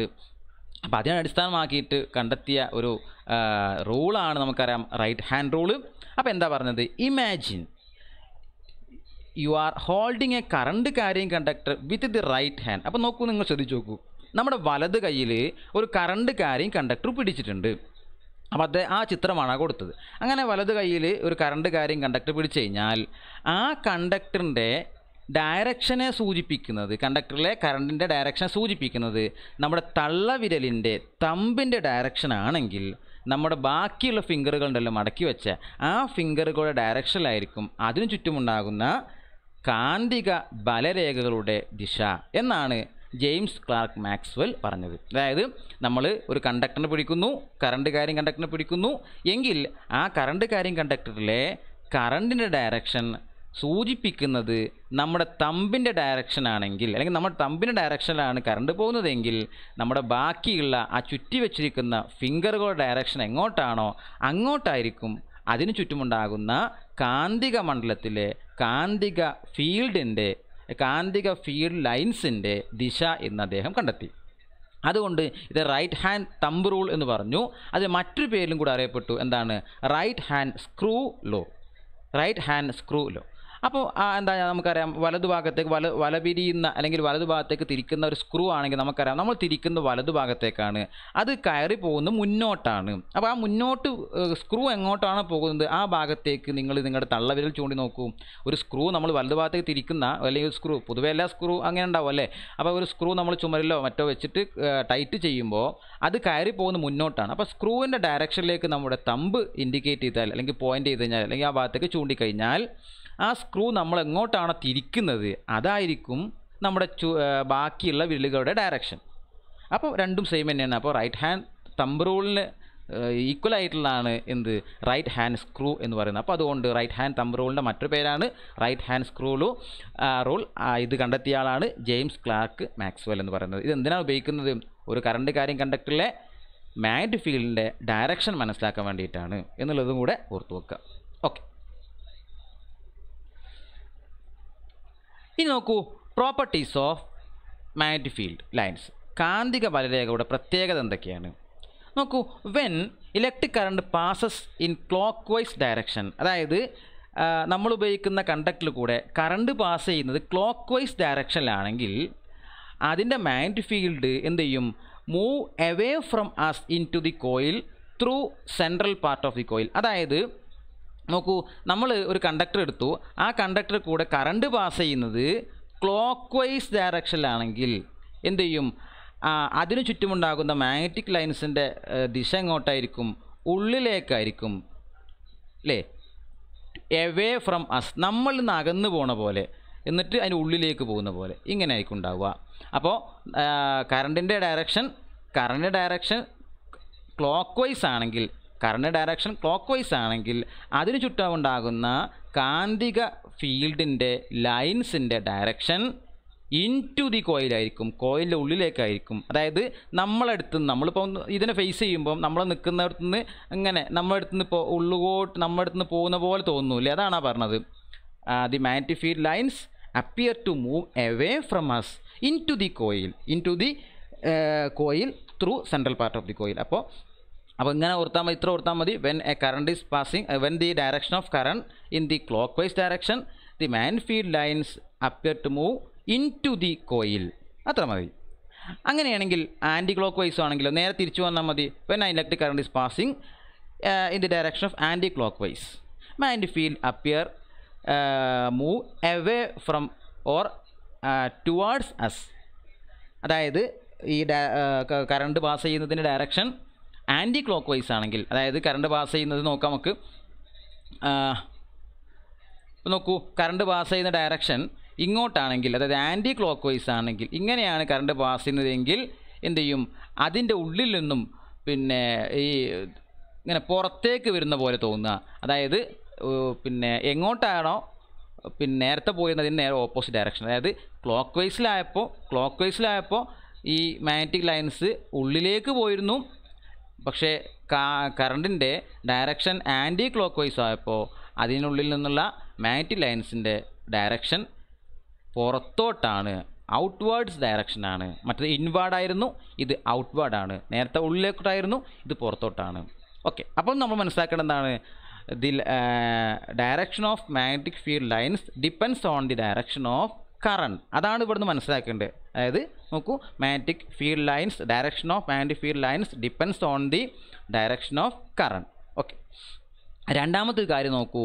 Strength of magnetic field increases when number of turns of coil or current increase നോക്കൂ അതായത് ഇപ്പോൾ നമ്മളിപ്പോൾ ഇങ്ങനെ പറഞ്ഞുകൊണ്ടിരുന്നത് ഇലക്ട്രോ മാഗ്നറ്റിലേക്കാണ് അപ്പോൾ ഒരു ഇലക്ട്രോ മാഗ്നറ്റ് നോക്കുകയെങ്കിൽ നോക്കൂ ശ്രദ്ധിച്ച് നോക്കൂ. അപ്പോൾ ഇലക്ട്രോ മാഗ്നറ്റ് എന്ന് പറഞ്ഞാൽ എന്തായാലും നമ്മൾ പറഞ്ഞു ശ്രദ്ധിച്ചോളൂ. ഞാൻ പറഞ്ഞ കൺക്ലൂഷൻ ശ്രദ്ധിച്ചോളൂ. അതായത് when a current is passing through a conductor magnetic field will be produce around the magnet sorry conductor അതായത് കണ്ടക്ടറിന് ചുറ്റും കാന്തിക മണ്ഡലം ഉണ്ടാകും എന്ന് പറഞ്ഞു. രണ്ടാമത്തെ പറഞ്ഞു ആ കാന്തിക മണ്ഡലത്തെ ദിശ അതിന്റെ കറണ്ടിന്റെ ദിശയ്ക്ക് തുല്യമായിരിക്കും. കറണ്ടിന്റെ ദിശ എങ്ങോട്ടാണോ അതിനനുസരിച്ചായിരിക്കും എന്ന് പറഞ്ഞു. എന്ന് പറഞ്ഞു കഴിഞ്ഞാൽ പിന്നെ മൂന്നാമത്തെ കാര്യം പറയുന്നത് എന്താ വെച്ചാൽ നമ്മൾ ഉപയോഗിക്കുന്ന നമ്മളിപ്പോൾ ഒരു കണ്ടക്ടർ കൂടെ കറണ്ട് പാസ് ചെയ്യുകയാണെങ്കിൽ ആ കണ്ടക്ടർ കൂടെ കടത്തിവിടുന്ന കറണ്ട് കൂട്ടിയാൽ അതിന്റെ ഇന്റൻസിറ്റി കൂട്ടിയാൽ അവിടെ പ്രൊഡ്യൂസ് ചെയ്യുന്ന മാഗ്നറ്റിന്റെ ഇന്റൻസിറ്റിയും അല്ലെങ്കിൽ സ്ട്രെങ്ത്തും കൂടുന്നതാണ്. രണ്ടാമത്തെ നമ്മൾ ഉപയോഗിച്ചിരിക്കുന്ന കോയിലിന്റെ നമ്പർ ഓഫ് ടേൺസ് കൂട്ടിക്കഴിഞ്ഞാൽ നമ്മളിപ്പോൾ ഒരു കണ്ടക്ടർ കൂടെ കറണ്ട് പാസ് ചെയ്യുന്നത് അപ്പോൾ നമ്മൾ ടേൺസ് ആക്കി മാറ്റിക്കഴിഞ്ഞാൽ ആ കണ്ടക്ടറിന്റെ turns increase ചെയ്യുന്നതനുസരിച്ച് strength of magnetic field also increases അപ്പോൾ നോക്കൂ which are the factors which are the factors influencing the strength of magnetic field which are the factors? Influencing the strength of mind field എന്തൊക്കെയാണ്? ഒന്ന് current direction of current അല്ലേ അപ്പോൾ direction of current സ്ട്രെങ്ത്തിനെ ബാധിക്കുന്നില്ലെങ്കിൽ പോലും mind ഫീൽഡിനെ ബാധിക്കുന്നുണ്ട്. അപ്പം നമുക്ക് കറണ്ടിന്റെ ഡയറക്ഷൻ ജസ്റ്റ് ഒന്ന് പറഞ്ഞു വെക്കാം. രണ്ടാമത്തെ വളരെ പ്രധാനപ്പെട്ട അതിനെ സ്ട്രെങ്ത്തിനെ ബാധിക്കുന്ന എന്താണ്? ഒന്ന് number of turns of the conductor and second one current of the conductor current through the conductor conductor കൂടെ പാസ് ചെയ്യുന്ന കറണ്ടിനും അതോടൊപ്പം തന്നെ കണ്ടക്ടറിന്റെ നമ്പർ ഓഫ് ടേൺസിനും അനുസരിച്ചിട്ടാണ് അവിടെ ഉണ്ടാകുന്ന കാന്തിക ഫീൽഡിന്റെ സ്ട്രെങ്ത്ത് കൂടുകയോ കുറയുകയോ ചെയ്യുന്നത് എന്നാണ് ഇവിടുത്തെ കൺക്ലൂഷൻ ഓക്കെ ആണല്ലോ? ഓക്കെ നോക്കൂ. അപ്പോൾ നമ്മൾ അങ്ങനെ പറഞ്ഞു ഇനി നമ്മൾ സോളിനോയിഡ് സോളിനോയിഡ് എന്ന് പറഞ്ഞാൽ നമുക്കറിയാം. Solenoid is an insulated wire wound in the shape of helix അല്ലേ? ഒരു ഹെലിക്സ് ആകൃതിയിൽ ഒരു സർപ്പിൾ ആകൃതിയിൽ ചുറ്റി വച്ചിരിക്കുന്ന ചുറ്റുകളെ ഇൻസുലേറ്റഡ് വയർ അതായത് ഇൻസുലേഷനുള്ള ഒരു കണ്ടക്ടറിന് നമ്മളെടുത്തിട്ട് ഹെലിക്സ് ഷേപ്പിൽ ചുരുട്ടി വെച്ചതാണ് സോളിനോയിഡ് എന്ന് പറയുന്നത്. അപ്പോൾ സോളിനോയിഡ് ചിത്രമാണ് കൊടുത്തിട്ടുണ്ട്. അപ്പോൾ നോക്കൂ such coil such coiled conductor can be use for the magnetic effect of electricity അതായത് എന്താ കാ കാന്തത്തിന്റെ സോറി കറണ്ടിന്റെ കാന്തിക ഫലം കറണ്ടിന്റെ കാന്തിക ഫലത്തെ പ്രയോജനപ്പെടുത്താൻ വേണ്ടിയിട്ടാണ് സോളിനോയിഡ് എന്ന് പറയുന്ന ബൗണ്ടഡ് ആയിട്ടുള്ള ഈ ഷേപ്പ് ഉപയോഗിക്കുന്നത്. അപ്പോൾ സോളിനോയിഡ് എന്ന് പറഞ്ഞാൽ നമുക്ക് മനസ്സിലായി അത് ഇൻസുലേറ്റർ വയറാണ് അത് ഹെലിക്കൽ ഷേപ്പിലായിരിക്കും അത് ചുറ്റി വെച്ചിട്ടുണ്ടാവുക. അത് ഉപയോഗിക്കുന്നത് കറണ്ടിന്റെ മാറ്റിക് എഫക്റ്റ് പ്രയോജനപ്പെടുത്താൻ വേണ്ടിയിട്ടാണ് എന്നുകൂടെ ഓർത്തു വെക്കുക. ഈ നോക്കൂ ടു ഫൈൻ ദി പൊളാരിറ്റി അപ്പോൾ നമുക്കറിയാം നമ്മൾ നേരത്തെ പറഞ്ഞിട്ടുണ്ടായിരുന്നു എന്താണ് there are two types of magnet ഒന്ന് electromagnet second one permanent magnet അപ്പോൾ പെർമനന്റ് മാഗ്നറ്റിനും അതേപോലെ ടെമ്പററി മാഗ്നറ്റായ ഇലക്ട്രോ മാഗ്നറ്റും രണ്ടിനും എന്തുണ്ട്? പൊളാരിറ്റി ഉണ്ട്. അല്ലേ? മാത്രമല്ല രണ്ടിനും ഇലക്ട്രോമാഗ്നറ്റിക് ലൈൻസ് ഉണ്ട്. അതേപോലെ രണ്ടിന്റെയും ലൈൻസിന്റെ പ്രത്യേകത ഒക്കെ സെയിമാണ് നമ്മൾ പറഞ്ഞു. അപ്പോൾ അങ്ങനെയാണെങ്കിൽ രണ്ടിനും പൊളാരിറ്റി ഉണ്ടാകുമ്പോൾ സ്വാഭാവികമായിട്ടും നമുക്കറിയാം പെർമനന്റ് മാഗ്നറ്റിന്റെ പൊളാരിറ്റി നമുക്ക് മനസ്സിലാക്കാം. പക്ഷേ ഇലക്ട്രോ മാഗ്നറ്റ് എന്ന് പറയുന്ന ടെമ്പററി മാഗ്നറ്റിന്റെ പൊളാരിറ്റി നമുക്കറിയില്ല. കാരണം പൊളാരിറ്റി അറിയില്ല എന്ന് പറയാൻ കാരണം പൊളാരിറ്റി ചേഞ്ച് ചെയ്തുകൊണ്ടേയിരിക്കും. കാരണം നമ്മൾ പറഞ്ഞത് എന്താണ്? പിന്നെ കറണ്ടിന്റെ ഡയറക്ഷൻ എങ്ങോട്ടാണോ അതനുസരിച്ച് ഇലക്ട്രോ മാഗ്നറ്റിക് ലൈൻസിന്റെയും ഡയറക്ഷൻ മാറുന്നുണ്ട് അല്ലേ കാരണം നോർത്തിൽ നിന്നും സൗത്തിലേക്കാണല്ലോ ഇലക്ട്രോ മാഗ്നറ്റിക് ലൈൻസ് പോവുക. അപ്പോൾ അതനുസരിച്ചിട്ട് മാറുന്നുണ്ട്. അപ്പോൾ സ്വാഭാവികമായിട്ടും ലൈൻസ് മാറുന്നു എന്ന് പറഞ്ഞാൽ അതിനർത്ഥം പൊലാരിറ്റി മാറുന്നു എന്നർത്ഥം പൊലാരിറ്റി മാറുന്നതുകൊണ്ടാണല്ലോ ലൈൻസിന്റെ ഡയറക്ഷൻ മാറുന്നത്. അപ്പോൾ ഡയറക്ഷൻ മാറാൻ ഡിപ്പെൻഡ് ചെയ്യുന്ന ആളാരാ? കറണ്ടാണ് അപ്പോൾ നോക്കൂ നമ്മൾ കറണ്ട് കൊടുക്കുമ്പോൾ ഏത് ഡയറക്ഷനിലാണ് കൊടുക്കുന്നത്? അതനുസരിച്ചായിരിക്കും അതിന്റെ പൊളാരിറ്റി ഉണ്ടാവുക. അതാണ് പറഞ്ഞത്. അപ്പോൾ നോക്കൂ ഇവിടെ പോയിന്റ് പറഞ്ഞിട്ട് നോക്കൂ. നോക്കൂ എന്താണ് ഇവിടെ പറഞ്ഞത്? അതായത് the end of the solenoid at which the current flow in the clockwise direction will be south pole അതായത് നമ്മൾ ഉപയോഗിക്കുന്ന നമ്മൾ ഉപയോഗിക്ക ഉപയോഗിക്കുന്ന സോളിനോയിഡിൽ കറണ്ട് പാസ് ചെയ്യുന്നത് അതായത് നമ്മൾ ഉപയോഗിക്കുന്ന സോളിനോയിഡ് നമ്മുടെ ഫേസിലേക്ക് പിടിക്കുക. അതായത് നമ്മൾ ഫേസ് ടു ഫേസ് പിടിച്ചു കഴിഞ്ഞാൽ നമ്മൾ ഉപയോഗിക്കുന്ന സോളിനോയിഡിനെ നമ്മൾ ഫേസ് ടു ഫേസ് ആയിട്ട് പിടിച്ചു കഴിഞ്ഞാൽ അതിന്റെ നമ്മുടെ ഭാഗത്തുള്ള ആ അറ്റത്ത് കറണ്ട് ഫ്ലോ ഫ്ലോ ചെയ്യുന്നത് ക്ലോക്ക് വൈസ് ഡയറക്ഷനിലാണെങ്കിൽ അതായത് നമ്മളിങ്ങനെ നമ്മുടെ മുഖത്തോട് മുഖം ഫേസ് ടു ഫേസ് പിടിച്ചു കഴിഞ്ഞാൽ അതിന്റെ മുൻഭാഗം നമ്മളടുത്തേക്കുള്ള ഭാഗം ഇങ്ങനെ ആ കോയിലിന്റെ അറ്റം ഇങ്ങനെയാണ്. ക്ലോക്ക് വൈസ് ഡയറക്ഷനിലാണെങ്കിൽ ആ ഭാഗം എന്തായിരിക്കും? സൗത്ത് പോളായിരിക്കും അതേപോലെ നമ്മൾ പിടിച്ചിരിക്കുന്ന ഭാഗം സൗത്ത് പോൾ ആണെങ്കിൽ സ്വാഭാവികമായിട്ടും അതിന്റെ ഓപ്പോസിറ്റ് എന്തായിരിക്കും? നോർത്ത് പോളായിരിക്കും ഇനി ഇൻ കേസ് നമ്മൾ ആ ഒരു സോളിനോയിഡ് എടുത്തിട്ട് നമ്മൾ ഫേസ് ടു ഫേസ് പിടിച്ചു കഴിഞ്ഞാൽ നമ്മൾ മുഖത്തോട് ചേർത്ത് മുഖത്തിന്റെ ഭാഗത്തേക്ക് പിടിച്ചു കഴിഞ്ഞാൽ അതിന്റെ നമ്മളെ അഭിമുഖീകരിക്കുന്ന നമ്മളെ ഫേസ് ചെയ്യുന്ന ഭാഗം ഇങ്ങനെ ആന്റി ക്ലോക്ക് വൈസ് ഡയറക്ഷനിലാണെങ്കിൽ അതെന്തായിരിക്കും നോർത്ത് പോളായിരിക്കും അപ്പോൾ അതാണ് ഇവിടെ കൊടുത്തത്. ഈ സൗത്ത് പോൾ ഇത് നോർത്ത് പോൾ അപ്പോൾ നോക്കൂ സൗത്ത് നമുക്ക് ഇങ്ങനെ അല്ലാതെ വേറെ വരക്കാൻ കഴിയില്ല അല്ലേ? അപ്പോൾ നോക്കൂ ആ നമ്മളെ ഭാഗത്തേക്ക് പിടിച്ചിട്ട് ആ സോളിനോയിന്റെ അറ്റം നോക്കുക. അറ്റം ഇങ്ങനെയാണെങ്കിൽ അതിന് അറ്റം ഇങ്ങനെയാണെങ്കിൽ ആ അറ്റത്ത് എന്താ ഉണ്ടാവുക സൗത്ത് പോളാണ് പക്ഷേ അതിനകത്തുള്ള കറണ്ടിന്റെ ഡയറക്ഷൻ നമുക്ക് കറണ്ട് കൊടുത്ത് സ്വാഭാവികമായിട്ടും ബാറ്ററിന്റെ പൊളായിട്ട് നോക്കിയാൽ മതി അല്ലേ? അപ്പോൾ കറണ്ട് കൊടുത്ത് നമ്മുടെ ഭാഗത്ത് നമ്മുടെ മുഖത്തിന്റെ ഭാഗം വരുന്നത് ഇങ്ങനെ ആന്റി ക്ലോക്ക് വൈസ് ആണെങ്കിൽ അതെന്തായിരിക്കും? നോർത്ത് പോളായിരിക്കും അപ്പോൾ ക്ലോക്ക് വൈസ് ആണെങ്കിൽ അത് സൗത്ത് പോളാണ് ആന്റി ക്ലോക്ക് വൈസ് ആണെങ്കിൽ അത് നോർത്ത് പോളാണ് അപ്പോൾ നമുക്ക് എന്ത് ചെയ്യാം? അവിടെ നോക്കൂ ശ്രദ്ധിച്ച് നോക്കൂ. ഇവിടെ നമ്മൾ എന്താ മനസ്സിലാക്കേണ്ടത്? ഇവിടെ മനസ്സിലാക്കേണ്ടത് തന്നെ polarity depends on the direction of current കറണ്ടിന്റെ ഡയറക്ഷൻ അനുസരിച്ചിട്ടാണ് പൊളാരിറ്റി ഡിപ്പെൻഡ് ചെയ്യുന്നത്. അപ്പോൾ സ്വാഭാവികമായിട്ടും ഇവിടെ നമുക്ക് മനസ്സിലായി പൊളാരിറ്റി അല്ലെങ്കിൽ മാഗ്നറ്റിന്റെ ഇലക്ട്രോ ഇലക്ട്രോ മാഗ്നറ്റിന്റെ വളരെ പ്രധാനപ്പെട്ട സംഭവമാണ് നമ്മൾ പറഞ്ഞത്. അപ്പോൾ പൊളാരിറ്റി മാറുന്നതനുസരിച്ച് അപ്പോൾ സോറി ഡയറക്ഷൻ മാറുന്നതനുസരിച്ച് അതിന്റെ പൊളാരിറ്റിയും ചേഞ്ച് ചെയ്യുന്നുണ്ട് എന്നുള്ളതാണ് പറഞ്ഞത്. ഓക്കെ അപ്പോൾ ഇത്രയും ഭാഗം ഓർത്ത് വെക്കാം. നമുക്ക് അടുത്ത ഭാഗത്തേക്ക് പോകാം. അപ്പോൾ നമ്മൾ ഇത്ര പഠിച്ചു മാഗ്നറ്റ് പഠിച്ചു രണ്ട് തരത്തിൽ മാഗ്നറ്റ് പഠിച്ചു ഒക്കെ പറഞ്ഞു. ഇനി നോക്കാം അടുത്ത് നോക്കൂ.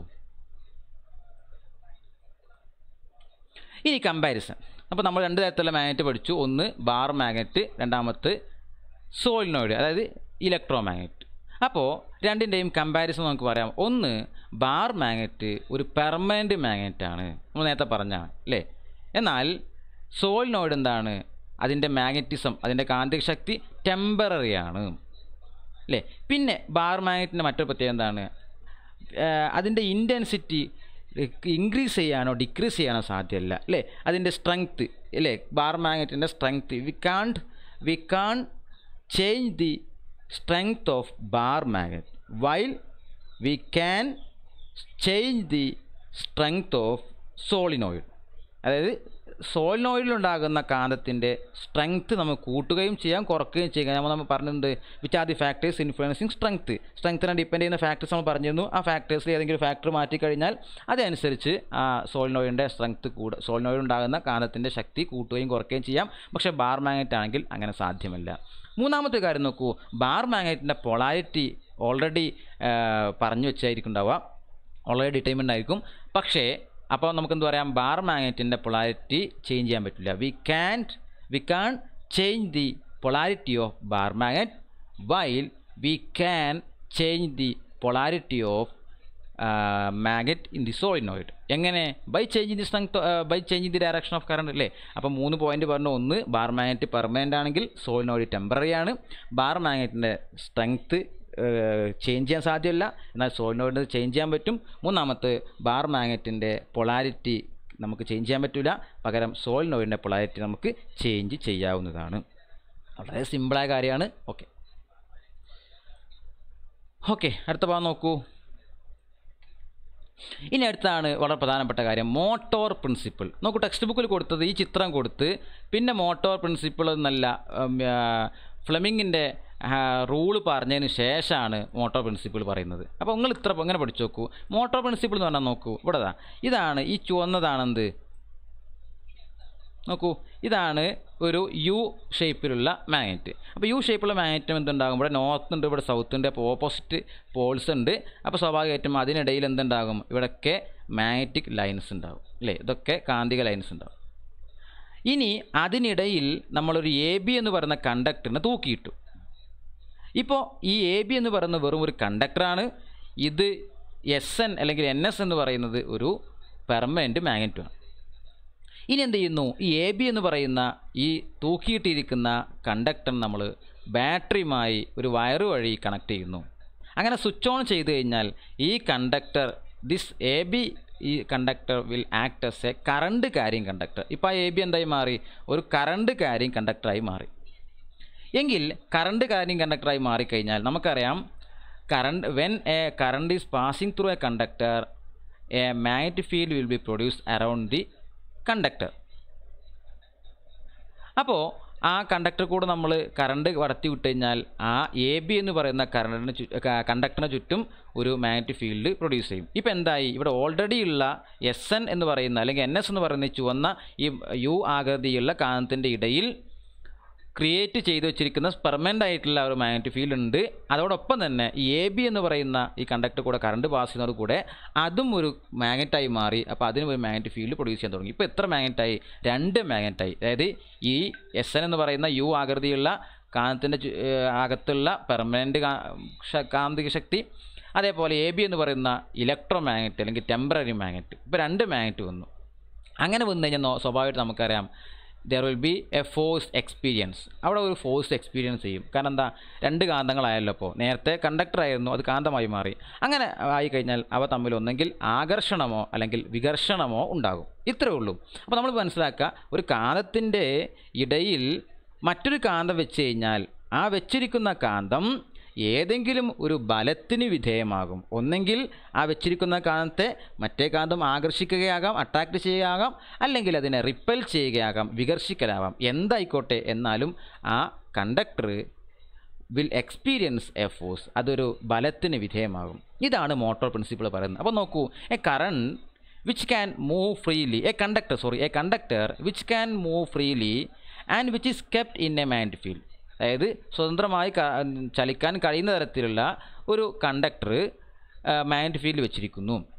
അതെന്തിന് വിധേയമാകും? Experience a force when current passes through it and it moves അപ്പോൾ നോക്കൂ നമുക്ക് ഇങ്ങനെ പഠിച്ചു നോക്കാം ഞാൻ പറയുന്ന പോലെ ശ്രദ്ധിച്ച് നോക്കൂ. ഞാൻ പറയുന്ന പോലെ ശ്രദ്ധിച്ച് നോക്കൂ. ഒന്ന് ശ്രദ്ധിച്ച് നോക്കൂ. ടെക്സ്റ്റ് ബുക്കിൽ അതേ ടൈം ഞാൻ കാണിച്ചു തന്നു. ഇനി ഞാൻ പറയുന്നത് ശ്രദ്ധിച്ച് നോക്കൂ. When a current carrying conductor when a current carrying conductor kept in between a magnetic field will experiences a force നോക്കൂ ഒന്നുകൂടി ശ്രദ്ധിച്ചു നോക്കൂ a current carrying conductor kept in between a magnetic field will experiences a force this is known as motor principle അപ്പോൾ നമുക്ക് text ബുക്കിൽ അച്ചടി ഭാഷ കാണാതെ പഠിച്ചു വെക്കണമെന്നില്ല ഞാൻ പറയുന്ന ഒന്നുകൂടെ ഒന്ന് ശ്രദ്ധിച്ചോളൂ വേണമെങ്കിൽ നോട്ട് ചെയ്ത് വെച്ചോളൂ എന്താണ് when a current carrying conductor kept in between a mind field will experience a force this is known as motor principle okay അപ്പോൾ നമുക്ക് മനസ്സിലായി രണ്ട് കാന്തങ്ങൾ വന്നു കഴിഞ്ഞാൽ അവിടെ അവക്കിടയിൽ ഒരു ഫോഴ്സ് എക്സ്പീരിയൻസ്ഡ് ആകും എന്ന് മനസ്സിലായി. അത് മനസ്സിലായി കഴിഞ്ഞാൽ എങ്കിൽ ആ ഫോഴ്സ് എങ്ങോട്ടാണ് ആ ഫോഴ്സിന്റെ ഡയറക്ഷൻ എങ്ങോട്ടാണ് എന്ന് സ്വാഭാവികമായി നമുക്ക് സംശയം ഉണ്ടാകും അല്ലേ? അപ്പോൾ ഫോഴ്സ് ഉണ്ടായി എന്ന് മനസ്സിലാക്കി. രണ്ട് കാന്തങ്ങൾക്കിടയിൽ ഒരു ഫോഴ്സ് ക്രിയേറ്റ് ചെയ്ത് മനസ്സിലായി. എങ്കിൽ ആ ഫോഴ്സ് എങ്ങോട്ടാണ് എന്ന് നിങ്ങൾ ചോദിച്ചാൽ അതാണ് ആര് പറഞ്ഞിരുന്നത്? ഫ്ലെമിങ് പറഞ്ഞിരുന്നത്. ആ ഡയറക്ഷൻ പറഞ്ഞു തരാൻ വേണ്ടിയിട്ടാണ് ഫ്ലെമിങ്ങിന്റെ റൂൾ നമ്മൾ പഠിക്കേണ്ടത്. അപ്പോൾ നോക്കിക്കോളൂ. എന്തായിരുന്നു ഫ്ലെമിങ്ങിന്റെ rule Fleming left hand rule പറയുന്നതാണ്. നോക്കൂ ഇവിടെ പറയുന്ന മൂന്ന് കൈകൾ വെച്ചിട്ട് കയ്യിലെ മൂന്ന് ഫിംഗേഴ്സ് വെച്ചിട്ട് അതിൽ തള്ളവിരൽ അതിന്റെ ഫ്ലമിങ്ങിന്റെ ഇടത് കൈ ഞാൻ പറയുന്നത് തള്ളവിരൽ ചൂണ്ടുവിരൽ നടുവിരൽ അപ്പോൾ നോക്കൂ തള്ളവിരലും ചൂണ്ടുവിരലും നടുവിരലും ഉപയോഗിച്ചുകൊണ്ട് അദ്ദേഹം പറയുന്നു നോക്കൂ ഇഫ് ഞാൻ ആ ടെക്സ്റ്റ് ബുക്കിലുള്ളതെല്ലാം വായിക്കുന്നത് ശ്രദ്ധിച്ചോളൂ. If we stretch the left hand if the if stretch the forefinger middle finger thumb of a left hand with mutually perpendicular to each other. ശ്രദ്ധിച്ചോളൂ stretch the forefinger middle finger and thumb of a left ha- of left hand with mutually perpendicular direction then, if the forefinger indicate the direction of man field, middle finger indicate the direction of current, and the thumb will indicate the direction of conductor. ഇതാണ് ബുക്കിൽ അപ്പോൾ നോക്കിക്കോളൂ. ഇനി ശ്രദ്ധിച്ചോളൂ കേട്ടോ നമ്മൾ നിങ്ങൾ എല്ലാവരും നിങ്ങളെ കൈ ഒന്ന് പിടിച്ചു നോക്കൂ. ഈ വോയിസ് കേൾക്കുന്ന ആളുകൾ നിങ്ങളുടെ ഇടത് കൈ ഒന്ന് പിടിക്കുക. അറിയാത്ത ആളുകൾ എന്നിട്ട് നോക്കുക. തള്ള വിരൽ ചൂണ്ട് വിരൽ നടുവിരൽ പരസ്പരം നയന്റി ഡിഗ്രി ആകുന്ന രീതിയിൽ പെർപ്പൻഡിക്കുലറായിട്ട് പിടിക്കുക. പിടിച്ചതിന് ശേഷം ഇത് കാണാതെ പഠിക്കേണ്ട പഠിക്കാൻ ഒരു മാർഗം പറഞ്ഞുതരാം. നോക്കൂ. നമുക്ക് അടുത്ത ചാപ്റ്റർ പഠിക്കാനുള്ളത് എന്താ? ഇലക്ട്രോ മാഗ്നറ്റിക് ഇൻഡക്ഷൻ എന്നല്ലേ? അടുത്ത ചാപ്റ്റർ ഇലക്ട്രോ മാഗ്നറ്റിക് ഇൻഡക്ഷൻ എന്നാണല്ലോ. അവിടെ നിങ്ങൾ എന്ത് ചെയ്യുക ഇലക്ട്രോ മാഗ്നറ്റിക് ഇൻഡക്ഷൻ എന്നുള്ള ആ ടേം നിങ്ങൾ ഇപ്പോൾ പഠിച്ചിട്ടുണ്ടാകും സ്വാഭാവികമായിട്ടും ഒമ്പതാം ക്ലാസ് പത്താം ക്ലാസ് പഠിച്ചതാണല്ലോ. അപ്പോൾ അവിടെ ഇലക്ട്രോ മാഗ്നറ്റിക് ഇൻഡക്ഷൻ എന്നുള്ളിടത്ത് ഫോഴ്സ് എന്നാക്കി പഠിച്ചു വെക്കുക. അന്ന് പഠിച്ചു നോക്കൂ. ഒന്ന് പറഞ്ഞു നോക്കൂ. ഇലക്ട്രോ മാഗ്നറ്റിക് ഇൻഡക്ഷൻ എന്നുള്ളതിന് പകരം ഇലക്ട്രോ മാഗ്നറ്റിക് ഫോഴ്സ് എന്ന് പഠിച്ചു വെക്കുക. പഠിച്ചോ? ഇലക്ട്രോ മാഗ്നറ്റിക് ഫോഴ്സ് ഇനി ഇടത് കൈ നിങ്ങൾ പിടിച്ചു വെച്ചിട്ടുണ്ടാവുമല്ലോ. ഇത് നോക്കുക നിങ്ങളുടെ ഇടത് കൈയിന്റെ നടുവിരൽ തൊടുക. അവിടെ ഇലക്ട്രോ എന്ന് പറയാം. ചൂണ്ടുവിരൽ ടച്ച് ചെയ്യുക മാഗ്നറ്റിക് എന്ന് പറയാം. ദെൻ തമ്പ് ടച്ച് ചെയ്യുക ഫോഴ്സ് എന്ന് പറയാം. അപ്പോൾ ഓക്കെ ആയല്ലോ. ഒന്ന് പറഞ്ഞു നോക്കൂ. ശ്രദ്ധിച്ചിട്ടുണ്ടാവില്ല. ഒന്നുകൂടെ ശ്രദ്ധിച്ചോളൂ. നമ്മുടെ ഇടത് കൈ തള്ളവിരലും ചൂണ്ടുവിരലും നടുവിരലും പരസ്പരം ലംബമായി പിടിച്ചു. അതിനുശേഷം എന്താ പറയാൻ പറഞ്ഞത്? നമ്മുടെ നടുവിരൽ തൊട്ട് ഇലക്ട്രോ എന്ന് പറയാം. ചൂണ്ടുവിരലിനെ ടച്ച് ചെയ്തുകൊണ്ട് മാഗ്നറ്റിക് എന്ന് പറയാം. തള്ളവിരലിനെ ടച്ച് ചെയ്തുകൊണ്ട് ഫോഴ്സ് എന്ന് പറയാം. അപ്പോൾ ഇലക്ട്രോ മാഗ്നറ്റിക് ഫോഴ്സ് എന്നുള്ളത് കൃത്യമായി പഠിച്ചു. മറന്നു പോകേണ്ട ആവശ്യമില്ല. പരീക്ഷയ്ക്ക് ടെൻഷൻ അടിക്കേണ്ട ആവശ്യമില്ല. അപ്പോൾ നോക്കൂ. ഈ പുസ്തകത്തിൽ നോക്കാതെ സ്ലൈഡിലേക്ക് നോക്കാതെ നിങ്ങൾ കയ്യിലേക്ക് നോക്കി പറഞ്ഞോളൂ. Stretch the forefinger middle finger and thumb of left hand with mutually perpendicular to each other then if the forefinger indicate direction of current and middle sorry middle finger indicate indicate of current forefinger indicate the direction of man field then thumb indicate the direction of force ഒന്നുകൂടെ ശ്രദ്ധിച്ചോളൂ സ്ട്രെച്ചിന്റെ കൈ കൂടെ പറഞ്ഞോളൂ stretch the left stretch the middle finger forefinger thumb of left hand with mutually perpendicular to each other. Then, if the middle, middle finger indicates the direction of current, thumb, uh, forefinger indicates the direction of magnetic field, and thumb indicate the direction of force അപ്പോൾ നമ്മൾ എങ്ങനെ പഠിച്ചേക്കുക electro magnetic force എന്നുള്ള ക്രമത്തിൽ പഠിച്ചു നമ്മൾ. Okay ആണല്ലോ? അത് മനസ്സിലായിട്ട് ഞാൻ പ്രതീക്ഷിക്കുന്നു. അടുത്ത സ്ലൈഡിലേക്ക് പോകാം. ഇനി ഇതുമായി ബന്ധപ്പെട്ട വളരെ പ്രധാനപ്പെട്ട ഒരു മെഷീനാണ് ഇലക്ട്രിക് മോട്ടോർ എന്ന് പറയുന്നത്. അപ്പോൾ ഇലക്ട്രിക് മോട്ടോറിന്റെ പ്രിൻസിപ്പിൾ എന്താണ്? മോട്ടോർ പ്രിൻസിപ്പിളാണ് അല്ലേ? മോട്ടോർ പ്രിൻസിപ്പിളിനെ ബേസ് ചെയ്തുകൊണ്ട് പ്രവർത്തിക്കുന്ന ഒരു ഉപകരണത്തിന്റെ പേരാണ് ഇലക്ട്രിക് മോട്ടോർ എന്ന് പറയുന്നത്. ഇതിൽ പ്രധാനപ്പെട്ട ഭാഗം നിങ്ങൾക്ക് അറിയുന്നതാണ് എന്താണ്? രണ്ട് ഫീൽഡ് മാഗ്നറ്റ് അതേപോലെ ആർമേച്ചർ കോയിൽ ആർമേച്ചറുമായി ബന്ധപ്പെട്ടിരിക്കുന്ന സ്പ്ലിറ്റ് റിങ് അല്ലേ രണ്ട് സ്പ്ലിറ്റ് റിങ്. ഈ കറുത്ത ഭാഗമാണെന്ത്? നമുക്കറിയാം ബ്രഷ് എന്ന് പറയുന്നത് ഗ്രാഫൈറ്റ് ബ്രഷ് എന്ന് പറയുന്നത് അല്ലേ അപ്പോൾ അത് ഓർത്ത് വെക്കുക അതൊക്കെ സിമ്പിളാണ് ഒരു പക്ഷേ നമ്മളോട് ലേബൽ ചെയ്യാൻ പറഞ്ഞേക്കാം അടയാളപ്പെടുത്താൻ പറഞ്ഞേക്കാം. അപ്പോൾ ഇലക്ട്രിക് മോട്ടോർ എന്ന് പറയുന്നത് മോട്ടോർ പ്രിൻസിപ്പിനെ അടിസ്ഥാനമാക്കി പ്രവർത്തിക്കുന്ന ഒരു ഉപകരണമാണ്. എന്നാൽ അടുത്തത് മറ്റൊരു ഉപകരണമാണ് ഇലക് മോട്ടോർ പ്രിൻസിപ്പിളിനെ അടിസ്ഥാനമാക്കി പ്രവർത്തിക്കുന്ന മറ്റൊരു ഉപകരണത്തിന്റെ പേരായിരുന്നു മൂവിങ് കോയിൽ ലൗഡ് സ്പീക്കർ അല്ലേ മൂവിങ് കോയിൽ ലൗഡ് സ്പീക്കർ അപ്പോൾ മൂവിങ് കോയിൽ ലൗഡ് സ്പീക്കറിന്റെ ഭാഗങ്ങൾ എന്തൊക്കെയാണ്? ഓർത്ത് വെച്ചോളൂ. മൂവിങ് കോയിൽ ലൗഡ് സ്പീക്കറിന്റെ ഭാഗങ്ങൾ ഒന്ന് എന്താണെങ്കിലും മോട്ടോർ പ്രിൻസിപ്പിളുമായി ബന്ധപ്പെട്ട് പറയുമ്പോൾ സ്വാഭാവികമായിട്ട് അവിടെ എന്തുണ്ടാകും? ഒരു ഒരു മാഗ്നറ്റ് ഉണ്ടാകും. അപ്പോൾ ഒരു ഫീൽഡ് മാഗ്നറ്റ് രണ്ടാമത്തെ ആ ഫീൽഡ് മാഗ്നറ്റ് ഇടയിൽ മറ്റൊരു കോയിൽ വേണം. അപ്പോൾ രണ്ടാമത്തെ കോയിൽ ഇവിടെ നമ്മൾ വോയിസ് ക്രിയേറ്റ് ചെയ്യുന്നതുകൊണ്ട് നമുക്ക് ആ കോയിൽ നമുക്ക് എന്ത് പറയാം? വോയിസ് കോയിൽ എന്ന് പറയാം. മൂന്നാമത്തത് ആ വോയിസ് കോയിലിന്റെ അറ്റവുമായി ടച്ച് ചെയ്തിരിക്കുന്ന ഡയഫ്രം ഇത്രയാണ് ഈ മൂവിങ് കോയിൽ ലൗഡ് സ്പീക്കറിന്റെ പ്രധാനപ്പെട്ട ഭാഗം. അപ്പോൾ എന്തെന്നൊക്കെ നോക്കൂ? എങ്ങനെയൊക്കെയാണ് എങ്ങനെയാണ് മൂവിങ് കോയിൽ ലൗഡ് സ്പീക്കറിന്റെ പ്രവർത്തനം? അതായത് നമ്മൾ മൈക്ക് ഉപയോഗിക്കുന്നു. മൈക്കിൽ കൂടെ വരുന്ന ഇലക്ട്രിക് സിഗ്നൽ അതായത് സൗണ്ട് സിഗ്നലിന് ഈക്വൽ ആയിട്ടുള്ള ഇലക്ട്രിക് സിഗ്നൽ വളരെ വീക്കായിരിക്കും അതിന് നമ്മൾ ആംപ്ലിഫയറിലേക്ക് കൊടുക്കുന്നു.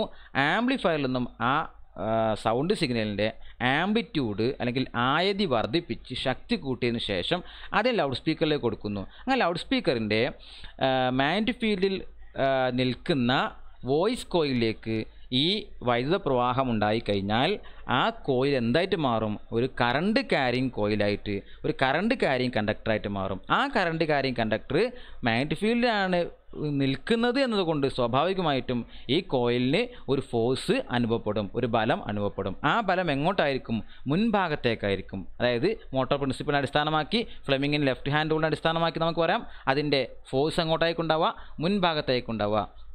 അപ്പോൾ സ്വാഭാവികമായിട്ടും മുൻഭാഗത്ത് നിൽക്കുന്ന എന്താണ്? ഡയഫ്രമാണ്. അപ്പോൾ ആ ഡയഫ്രത്തിൽ വന്ന് ഈ വോയിസ് കോയിലിന്റെ കമ്പനങ്ങൾ ഇങ്ങനെ ടച്ച് ചെയ്യും ഇല്ലേ? ഇങ്ങനെ ടച്ച് ചെയ്യുമ്പോൾ ആ അതിന്റെ മുൻഭാഗത്തുള്ള ഡയഫ്രവും കമ്പനം ചെയ്യും. ആ ഡയഫ്രം കമ്പനം ചെയ്ത് കഴിഞ്ഞാൽ അതിന്റെ സറൗണ്ടിങ്സിലുള്ള എയറും കമ്പനം ചെയ്യും. അങ്ങനെയാണ് നമ്മൾ ശബ്ദം ലൗഡ് സ്പീക്കറിൽ കൂടെ കേൾക്കുന്നത്. അപ്പോൾ ലൗഡ് സ്പീക്കറിന്റെ പ്രവർത്തനം മനസ്സിലായിട്ടുണ്ടാവും പ്രതീക്ഷിക്കുന്നു. അപ്പോൾ loudspeaker is a device which is working based on motor principle അതേപോലെ electric motor also another device which is working based on motor principle okay വളരെ സിമ്പിളാണ് ഇതിലൊക്കെ ചോദിക്കുന്ന ചോദ്യങ്ങൾ എന്ന് വെച്ച് കഴിഞ്ഞാൽ ഇതിൽ ഇപ്പോൾ ഈ ഈ ഭാഗം അടയാളപ്പെടുത്തുക ഇതെന്താണ്? അങ്ങനെയൊക്കെ വളരെ സിമ്പിളായ ക്വസ്റ്റ്യൻ ചോദിക്കുക. നിങ്ങൾ ശ്രദ്ധിക്കണം. പത്താം ക്ലാസ് കഴിഞ്ഞാൽ അടുത്ത വർഷം വരുന്ന പ്ലസ് വണ്ണ് പ്ലസ് ടു ഒക്കെ ഫിസിക്സ് ഒക്കെ ഇതിനെ കമ്പയർ ചെയ്യുമ്പോൾ നല്ല പ്രയാസമുള്ളതാണ് എന്നുള്ളത് സത്യസന്ധമായ ഒരു കാര്യമായതുകൊണ്ട് പറയാണ്. അപ്പോൾ ഇവിടെ ഇത്രയും ഈസിയായ ഒരു ഭാഗം നിങ്ങൾ പഠിക്കാതെ പോകരുത്. വളരെ സിമ്പിളാണ് ഫിസിക്സ് ഒരിക്കലും നിങ്ങൾ എ പ്ലസ് നഷ്ടപ്പെടുത്തരുത്. വളരെ സിമ്പിളാണ് അപ്പോൾ നിങ്ങൾക്ക് അറിയുന്ന ഭാഗമാണ് എന്നുള്ളതുകൊണ്ടാണ് കുറച്ച് സ്പീഡിൽ പോയത്. മനസ്സിലായി എന്ന് പ്രതീക്ഷിക്കുന്നു. ഇനി നിങ്ങൾക്ക് എന്തെങ്കിലും സംശയങ്ങളുണ്ടെങ്കിൽ നിങ്ങൾക്ക് ഇത് വീഡിയോക്ക് താഴെ കമന്റ് ചെയ്യാം. അല്ലെങ്കിൽ ഗ്രൂപ്പിലുള്ള ആളുകൾ ഗ്രൂപ്പിലേക്ക് ജോയിൻ ചെയ്യാം. ഇനി ഗ്രൂപ്പിലില്ലാത്ത ആളുകൾ യൂട്യൂബ് വഴിയാണ് ഈ ക്ലാസ് കേൾക്കുന്നതെങ്കിൽ ഇതിന് മുകളിൽ കൂടെ സ്ക്രോൾ ചെയ്യുന്ന നമ്പറിലേക്ക് നിങ്ങൾക്ക് കോൺടാക്ട് ചെയ്താൽ നമുക്ക് യൂട്യൂബിൽ ഗ്രൂപ്പിലേക്ക് സോറി നമ്മുടെ വാട്സപ്പ് ഗ്രൂപ്പിലേക്ക് ജോയിൻ ചെയ്യാവുന്നതാണ്. നമ്മളിതിന്റെ അടുത്ത ക്ലാസ് ഫിസിക്സിന്റെ അടുത്ത ഭാഗം അടുത്ത ദിവസം ഉണ്ടാകുന്നതാണ് അതേപോലെ കെമിസ്ട്രി ഉണ്ടാകുന്നതാണ്. പ്ലസ് വണ്ണിലെ വിദ്യാർത്ഥികൾക്ക് വേണ്ടിയും ക്ലാസ്സുകൾ നടത്തുന്നുണ്ട്. എല്ലാവരുടെയും പൂർണ സഹകരണം ഉണ്ടെങ്കിൽ മാത്രമേ ക്ലാസ്സുകൾ മുന്നോട്ട് പോകാൻ പറ്റുള്ളൂ. അപ്പോൾ ഇന്ന് ചില ടെക്നിക്കൽ എറർ തുടക്കത്തിൽ ഉണ്ടായത് വളരെയധികം ഖേദം അറിയിക്കുകയാണ്. നമ്മുടെ ഫസ്റ്റ് ക്ലാസ് ഇങ്ങനെ ആയതിൽ വലിയ വിഷമമുണ്ട്. എന്നിരുന്നാലും നിങ്ങളൊക്കെ സഹകരിച്ചു എന്നതിൽ അതിയായ സന്തോഷമുണ്ട്. കാരണം ടെക്നിക്കൽ എറർ എന്ന് പറയുന്നത് നമ്മൾ ആരും വരുത്തി വെക്കുന്ന പ്രശ്നങ്ങളെല്ലാം എന്ന് നിങ്ങൾക്ക് അറിയാം എന്നുള്ളതുകൊണ്ട് തന്നെ നിങ്ങൾ സഹകരിച്ചതിൽ അതിയായ സന്തോഷമുണ്ട്. ഏകദേശം നമ്മൾ ഒരു ഉച്ച മുതൽ തന്നെ ഇതിനു വേണ്ടിയുള്ള ക്രമീകരണങ്ങൾ നടത്തിക്കൊണ്ടിരിക്കുകയായിരുന്നു. പക്ഷേ എന്തൊക്കെ ചില ബുദ്ധിമുട്ടുകൾ വന്നു. എന്നാലും പത്ത് പത്ത് പത്ത് പതിനഞ്ച് മിനിറ്റിനുള്ളിൽ തന്നെ അത് ക്ലിയർ ചെയ്യാൻ പറ്റിയെന്നതിൽ അതിയായ സന്തോഷമുണ്ട്. ഏതായാലും ഇത് ഈ ക്ലാസ്സുകൾ വീക്ഷിച്ച എല്ലാ കുട്ടികൾക്കും നല്ലൊരു ദിവസം ആശംസിക്കുന്നു. ഇതിന്റെ അടുത്ത ക്ലാസ് തൊട്ടടുത്ത ദിവസം തന്നെ ഉണ്ടാകുന്നതാണ്. നിങ്ങളെ ഗ്രൂപ്പ് പോയി അറിയിക്കും. അതേപോലെ നോക്കൂ നമ്മുടെ യൂട്യൂബ് ചാനൽ ഇതാണ്. നിങ്ങൾ ഇതുപോലെയുള്ള ക്ലാസ്സുകൾ ഫസ്റ്റ് ചാപ്റ്ററിന്റെ വളരെ വിശദമായി ഒരു മണിക്കൂറിലധികം നിൽക്കുന്ന രണ്ട് ക്ലാസ്സുകൾ നമ്മൾ ചെയ്തിട്ടുണ്ട്. ആ ക്ലാസ്സുകൾ ലഭിക്കാൻ വേണ്ടി നിങ്ങൾ ഈ യൂട്യൂബ് ചാനൽ സബ്സ്ക്രൈബ് ചെയ്യുക. അതുപോലെ തൊട്ടടുത്ത ബെൽ ബട്ടൺ അമർത്തുകയും ചെയ്യുക. എന്നാൽ പുതിയ ക്ലാസ്സുകളൊക്കെ നിങ്ങൾക്ക് അപ്പോൾ ലഭിക്കുന്നതാണ്. മാത്രമല്ല നിങ്ങൾ താഴെ പഠിക്കുന്ന എട്ടിലും ഏഴിലൊക്കെ പഠിക്കുന്ന വിദ്യാർത്ഥികൾക്ക് ആവശ്യമായ എൻ എം എസിന്റെ പരീക്ഷ സ്കോളർഷിപ്പിന്റെ ക്ലാസ്സുകൾ അതുപോലെ വീട്ടിലെ മുതിർന്നവർക്ക് ആവശ്യമായിട്ടുള്ള പി എസ് സി ക്ലാസ്സുകൾ എല്ലാം ഇതിൽ കാണുന്നുണ്ട്. അപ്പോൾ അതുകൊണ്ട് ഫലപ്രദമായി നിങ്ങൾക്ക് ഉപയോഗിക്കാവുന്നതാണ്. അപ്പം ചാനൽ സബ്സ്ക്രൈബ് ചെയ്തിട്ടില്ലെങ്കിൽ ഒന്ന് സബ്സ്ക്രൈബ് ചെയ്ത് വെക്കുക. നിങ്ങൾക്ക് യൂട്യൂബ് ഉപയോഗപ്പെടുത്താവുന്നതാണ്. ഈ ക്ലാസ്സുകൾ നിങ്ങൾക്ക് ഇതിന് മുമ്പത്തെ ക്ലാസ്സുകൾ ലഭിച്ചിട്ടില്ല എങ്കിൽ ഒന്ന് ഈ ചാനലിൽ കയറി ഒന്ന് നോക്കുക. ഏതാണെങ്കിലും വളരെ സന്തോഷം. എല്ലാവർക്കും ഒരു നല്ല ദിവസം ആശംസിച്ചുകൊണ്ട് അടുത്ത ക്ലാസ്സിൽ നമുക്ക് വീണ്ടും കണ്ടുമുട്ടാം. Have a nice day thank you thank you very much